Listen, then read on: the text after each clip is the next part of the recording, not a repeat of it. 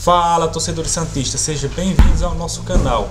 Mas antes de começar o vídeo, peço que se inscreva no canal e ative as notificações para ficar por dentro de tudo que acontece no Santos. Eu sou Jacó e esse é o canal Portal Santista News. Rueda recusa Milito e oferece um milhão mês para Santos fechar com campeão nacional. Treinador do Argentinos Júnior está livre no mercado, mas logo acabou descartado por Andrés Rueda. Ideia é trazer campeão brasileiro recente. Desde a demissão de Diego Aguirre na última sexta-feira, 15, o presidente Andrés Rueda pretende não poupar despesas para trazer o quarto treinador para o Santos somente em 2023.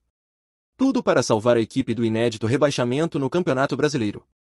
O revés para o Cruzeiro, em plena Vila Belmiro, fez o alvinegro praiano afundar no Z4. No embarque a Salvador, há pouco, o auxiliar Marcelo Fernandes irá comandar o Peixe contra o Bahia, quatro pontos à sua frente na tabela. Só que a ideia de Rueda é trazer um treinador de ponta para comandar a equipe até o fim do ano.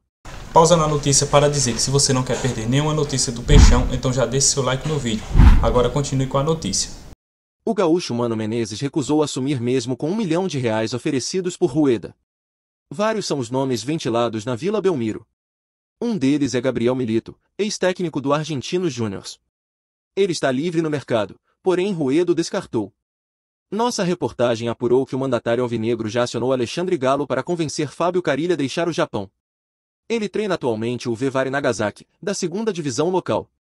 Galo tem a carta branca de Rueda para abrir a carteira na oferta Carilli, novamente os 1 milhão de reais por mês e vínculo até o fim de 2024.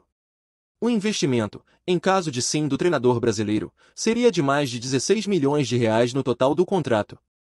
Vale reforçar que Carille, campeão brasileiro pelo rival Corinthians em 2017, já treinou o Santos durante a gestão Rueda.